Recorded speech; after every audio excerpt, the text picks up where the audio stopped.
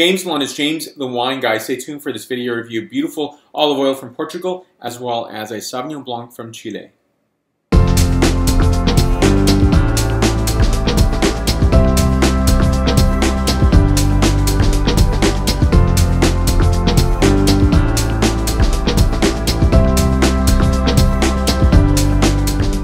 So I wanted to highlight this together because each of these are going to be, so olive oil is going to be its own review as well as the Chilean Sauvignon Blanc.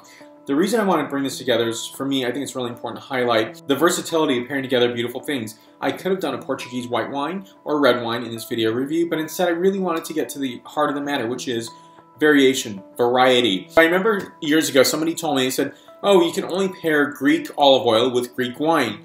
And I thought, hmm, yes, you can. There's nothing wrong with it. It's actually interesting to mix things up a bit, right?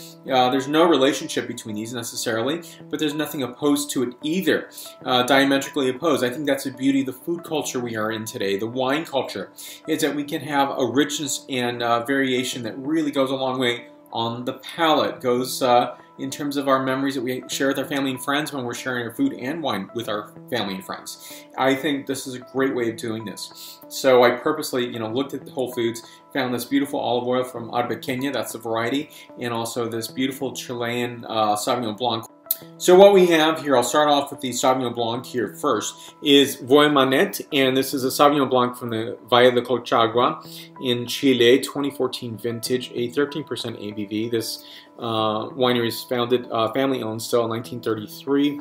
Back panel for your inspection right here.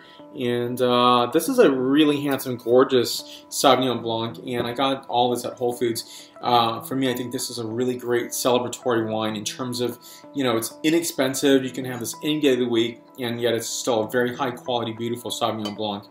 Uh, characterization is really intense, so I'll tell you about that in a moment.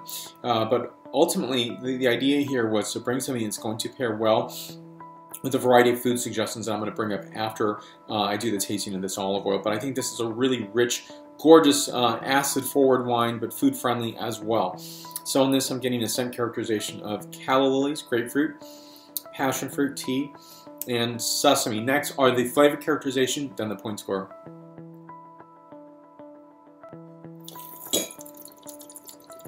Mm.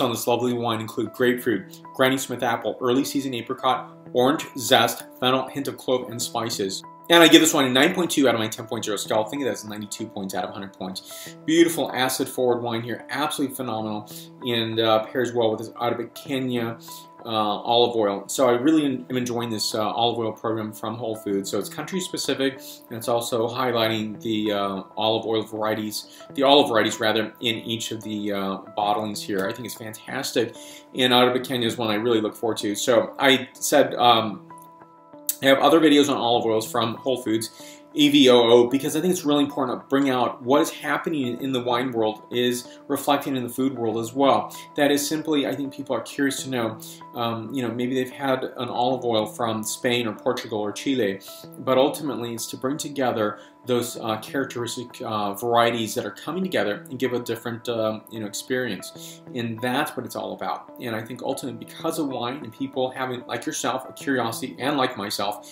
who have a curiosity of knowing the grape variety people are wanting to know the olive variety as well. So I think that's a great dependability but also a sense of artistry style and uh, palate preference. So here we go um, take a little spoonful of this beautiful olive oil